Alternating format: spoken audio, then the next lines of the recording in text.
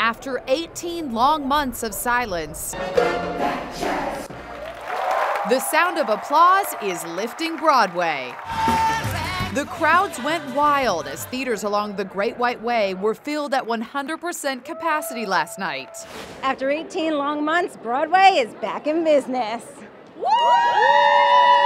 Inside Edition digital reporter Leigh Scheps had exclusive backstage access as the cast of Chicago prepped for their big night. It's showtime. Hey, Inside Edition. Broadway is back. For Broadway stars like Lillias White, the shutdown felt like forever. It was tough. It was tough. It was depressing.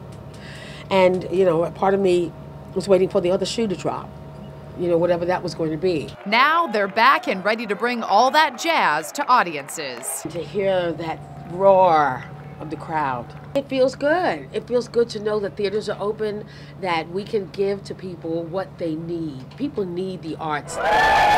Theater goers have never been happier. Without Broadway, there's no New York City. Audience members had to show proof of vaccination. Masks were mandatory. I've never felt safer going into a theater. I'm super excited.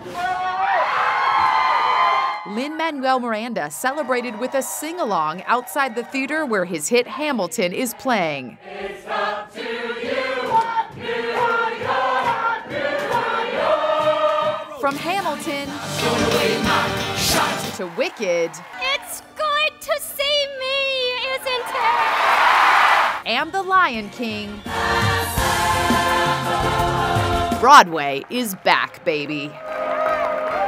And it feels so good. It's estimated that the pandemic shutdown cost Broadway $140 million in ticket revenue. And check this out it's a new glass elevator that will take you 1,200 feet above Manhattan in only 42 seconds. Allison Hall got to take a ride on the One Vanderbilt skyscraper, and boy, does it have some amazing views of New York.